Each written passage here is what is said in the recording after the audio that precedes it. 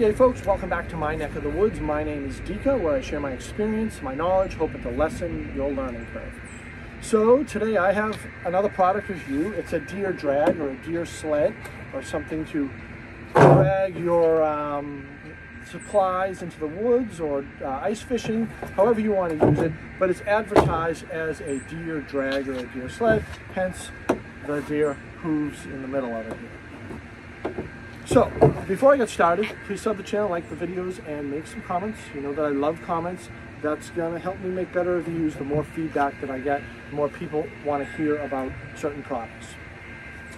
So this deer sled here is made by a company called Terrain Outdoors. You can go on the website, terrainoutdoors.com. I'm not affiliated with them by any means. And you can look at this. They make a couple things. They make this sled, they make another sled, and they make a couple um, like hard plastic, like uh, deer blinds for the most part. They're, they're huge, some of them. Um, there's no prices on the website, so you can contact them and ask them where the nearest dealer is. But for the most part, the best way to look for this sled is to go online and Google deer drag or deer sled green. And eventually, as you, as you look through some pictures, you're going to come across this. I bought this on Amazon probably about 11 years ago. I might have bought it on eBay. I really don't remember. And it retails anywhere from 30 to $50 depending on the company that you go from. I spent about 40. And like I said, I've had this for, I'm thinking of 11 or 12 years. Now there are other sleds on the market, and I'm going to tell you why I think this one's a little superior, and I think I've tried them all. I had one by Hawk that had these wheels that rotate, and you could, it went up and over rocks. It was good. It was heavy as hell, but it was good. Um, I had the little one that kind of rolls out, like uh, the, those old uh, sleds that we had when we were kids. And um, it, it's just a, a, piece of plastic, and then you put the deer on that, and that folds over. Um, I've had the one that's um, it's an orange harness, and then you attach it to the deer, and you sort of drag, drag it out. I've had that one. Um, I've had the other one where I think it's uh, traditionally called, I think it's called a dead sled, where it's uh, boxy, and it's got this big lip in the front and I have this one. And I have a friend who got this one also, and we just love them for the most part. So like I said, 30, 30, uh, 30 to $50 on the website when you find it. Just Google it and you'll find it. You'll find a picture of it usually and then you can find it, all right? So I'm gonna give you some specs on it here. It's six, so I'm gonna give you some specs of this one. On the website, it says that it's 65 inches long, 22 inches wide, 5 inches deep, and it weighs 4 pounds. This model, and I don't know if it's just an older model and they changed it, or you may be able to find this model on one of, one of these websites or eBay or Amazon or wherever you're going to go. So this one is 65 inches long. I'm, I'm, I'm 6'2", so it's you know, 65 inches long. Um, but mine is 24 inches wide from here to here. So it's a little wider, and mine is six inches deep, which is a, li a little deeper. Now, and uh, it, I, I, I would say that it weighs four pounds. I didn't weigh it, but I mean, I can really just hold it with like two fingers. It, it's not heavy at all. Um, as you know, as I've told you, I've had this for probably about, think 11 or 12 years, and I, you can see the bottom I have beat the heck out of it to the, oh, we got blood on it, uh, to the back, the back is starting to peel here for the most part, but it is still a great sled. It really comes up and over everything. I think it's just based on the design. It's got a little bit of a lip here on the front, and this plastic just comes right up and over everything. At the end of this video, I have um, two videos of people dragging deer on this. And um, just to give you an idea of how easy it goes up and over everything.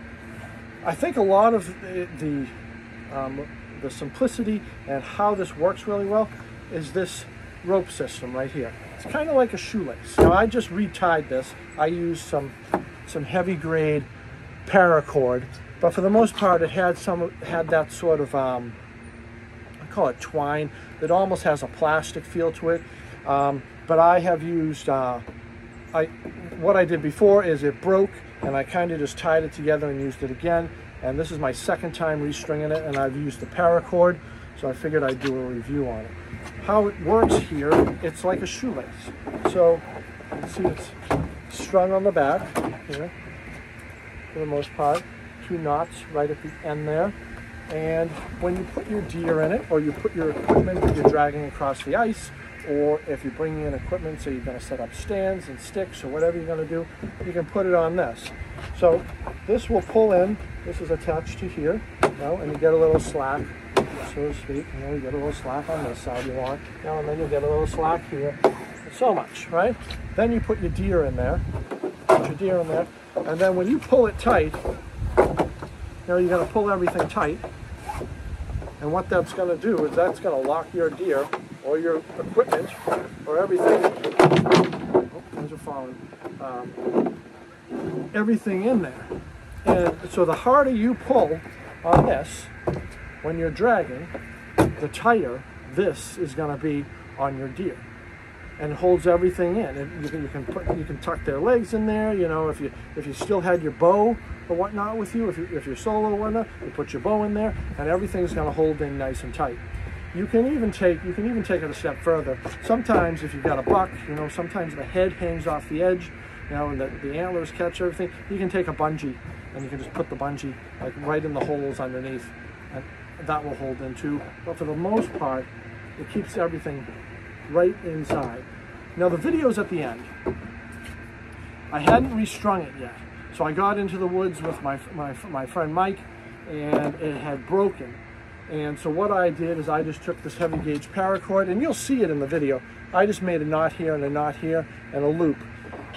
So in the videos, I didn't get to showcase how this sort of shoestring design works, but I think you can gather how it does work.